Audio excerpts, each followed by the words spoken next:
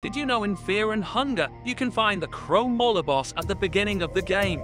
This secret Easter egg is in the Torturer's Chambers, and if you go north from where you fight Trortur, you will find a set of iron bars. On the other side is the Crow Mauler staring menacingly at the player. Examining him gives you the dialogue, there is something waiting for you on the other side of the bars, hinting at the omen of encountering the creature deeper in the dungeon.